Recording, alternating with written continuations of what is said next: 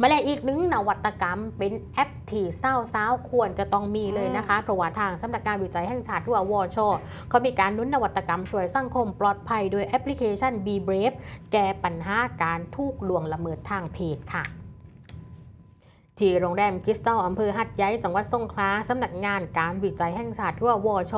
กระทรวงการอุดมศึกษาวิทยาศาสตร์วิจัยและนวัตกรรม โดยกลุ่มสารนิเทศและประชาสัมพันธ์ ผู้ทรงคุณวุฒิจากวช และซื้อมวลชน เข้าไปเยี่ยมชมผลสำเร็จของการดำเนินโครงการวิจัย เรื่องการพัฒนาเครื่องมือที่เหมาะสมเพื่อป้องกันการกระทำความผิดทางเพศในครอบครัว โรงเรียนชุมชน และแนวทางการปฏิบัติหน้าที่ของเจ้าหน้าที่ตำรวจที่วชให้การสนับสนุนทุนวิจัย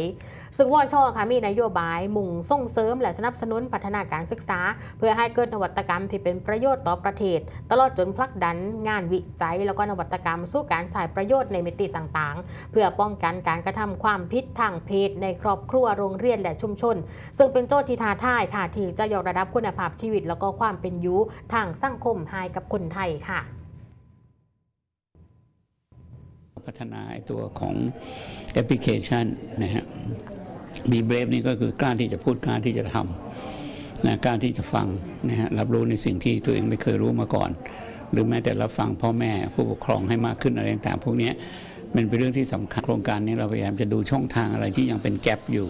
มาเที่ยวนี้ก็จะยืนยันซ้ำ จากกลุ่มคนต่างๆ ที่อยู่ในพื้นที่ภาคใต้เนี่ยมันจะมีความแตกต่างจากภาคอื่นไหม มันจะมีเอ่อในเรื่องศาสนาพระวัฒนธรรมต่างๆพวกนี้สามารถจะเอาอยู่ไหม เราก็จะพัฒนาต่อยอดแอปพลิเคชันที่เรามีอยู่เนี่ยนะฮะให้เพิ่มเติมในประเด็นที่ยังไม่สมบูรณ์ และเหมาะสมกับแต่ละพื้นที่ให้มากขึ้นนะเพื่อจะได้เกิดประโยชน์กับคนที่ฟัง รับรู้จะเป็นรูปวิดีโอหรือสื่อในรูปแบบอื่นก็ตาม เพื่อที่จะให้ ครอบครัวก็สามารถนำไปใช้ประโยชน์เขาถึงได้ตัวเด็กเอง เมื่อรับรู้ในบางส่วนของอสิ่งที่เราเผยแพร่ก็จะเอาไปใช้ประโยชน์นะฮะ ทางด้านของรองศาสตราจารย์ดรสุนีต้องกัลยาจิตค่ะเป็นหัวหน้าโครงการวิจัยก็เปิดเผยนะคะว่า จากงานวิจัยเนี่ยได้ต่อยอดจนกลายเป็นนวัตกรรมแอปพลิเคชัน b b r a v e ที่ใช้ป้องกันการกระทำความผิดทางเพศ ในสถาบันอุดมศึกษา ความพิเศษของนวัตกรรมนะคะ สามารถเชื่อมโยงไปยังระบบแจ้งเตือนของเจ้าหน้าที่ตำรวจฝ่ายปกครอง แล้วก็องค์กรภาครัฐได้เพื่อพนึกกำลังป้องกัน แล้วก็แก้ไขปัญหาอย่างเป็นรูปธรรมและก็ครบวงจร ผู้ตกเป็นเหยื่อเนี่ยสามารถขอความช่วยเหลือด่วน เพียงแค่กดปุ่มบน smart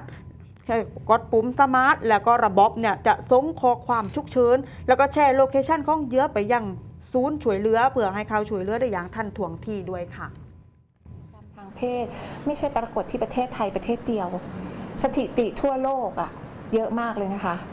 อย่างในเอเชียค่ะ เรารู้เลยค่ะว่าความรุนแรงโดยเฉพาะเรื่องบูลลี่เนี่ยเกิดขึ้นที่ญี่ปุ่น ประเทศไทยอะค่ะเรื่องบูลลี่เรื่องรุนแรงอะเป็นที่สอง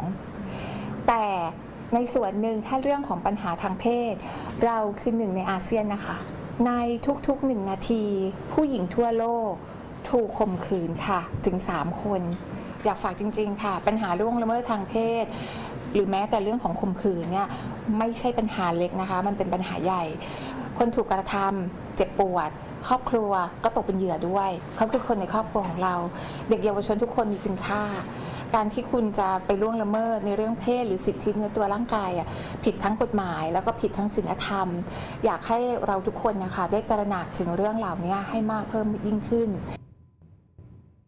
ด้านพลตำรวจโทโชคทวี จันทองอ่อนรองผู้กำกับการสืบสวนสอบสวนสพหัดใหญ่ก็บอกนะคะว่าแอปพลิเคชัน b b r a v e มีประโยชน์อย่างมากค่ะ จึงอยากให้ประชาสัมพันธ์แอปพลิเคชันดังกล่าวเนี่ยให้ไปถึงกับกลุ่มเป้าหมายเพื่อจะช่วยลดความรุนแรงและเกิดประโยชน์สูงสุดเพราะว่าสามารถช่วยเหลือปัญหาอาชญากรรมทางเพศได้เป็นอย่างดี สำหรับการแจ้งเหตุผ่านแอปพลิเคชันนี้นะคะที่สถานีตำรวจเนี่ยจะสามารถไปช่วยเหลือผู้เสี่ยงต่อการถูกละเมิดได้ในเขตเทศบาลไม่เกิน 5 นาทีค่ะถ้าภายนอกเขตเทศบาลเนี่ยไม่เกิน 15 นาทีหรือมากกว่านั้นตามระยะทางค่ะ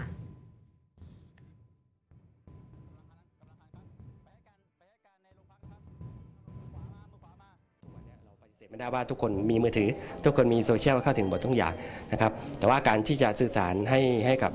เด็กหรือว่าผู้ถูกกระทำแล้วก็คนที่จะก็จะเป็นเหยื่อนะครับได้ได้ได้เกิดแอปพลิเคชันตัวเนี้ยก็ใช้ต้องใช้การประชาสัมพันธ์นิดนะครับ แล้วก็วิธีการใช้อะไรต่างๆเนี่ยก็อยากจะลงลึกไปถึงชุมชนแล้วก็โรงเรียนด้วยซ้ำไปนะครับ ก็คืออยากอยากให้ทางโรงเรียนเนี่ยได้รู้ว่ามีมีแอปพลิเคชันนี้เพราะว่าเด็กเนี่ย ส่วนเวลาส่วนหนึ่งในแต่ละวันอยู่กับเรียนค่อนข้างจะมากเหมือนกันนะครับคือให้ให้ถ่ายเท่าได้ครูได้รับทราบว่าเอ๊ะมีแอปพลิเคชันตัวนี้ด้วยนะ เพราะมันอาจจะช่วยในเรื่องของอาชญากรรมรูปแบบอื่นด้วย ซึ่งตัวนี้เนี่ยเราจะพบอาชญากรรมที่เกี่ยวกับเด็กเนี่ยไม่ไม่เฉพาะทางเพศเรื่องอื่นก็มีมาเหมือนกันนะครับซึ่งถ้าเกิดมีการพัฒนาที่สามารถใช้ได้เต็มที่เนี่ยก็คงคิดว่าทำให้แอปพลิเคชันตัวนี้นะมันก็สามารถใช้ได้ ได้ได้ดีนะครับก็อยากให้ครอบครัวเนี่ยเป็นเป็นรั้วป้องกันก่อนนะครับพยายามบอกกล่าวสอนลูกวิธีการปฏิบัติที่ถูกต้องอะไรต่างๆ ถ้าทุกทุกคนทำได้เนี่ยคือใส่ใจลูกสักนิดหนึ่งนะครับมันก็โอกาสที่จะเปิดโอกาสให้คนร้ายกระทำความผิดเนี่ยมันก็ค่อนข้างจะน้อยลงแล้ว ก็ถือว่าเป็นแอปที่เศร้าซ้าวควรจะมีเลยนะคะใช่สำหรับค่ะแอปพลิเคชัน Be Brave นี่เราสองคนมีโหลดมาเป็นทีเรียบร้อยแล้วนะคะซึ่งค่ะก็จะช่วยป้องกันเรื่องของปัญหาอาชญากรรม โดยเฉพาะเรื่องของการละเมิดทางเพศอืมได้นะคะ ตอนนี้สังคมไทยเราไม่รู้เลยว่ารู้หน้าไม่รู้ใจใช่ค่ะเออนี่แอปนี้นี่ง่ายมากคือกดเข้าไปแล้วเนี่ย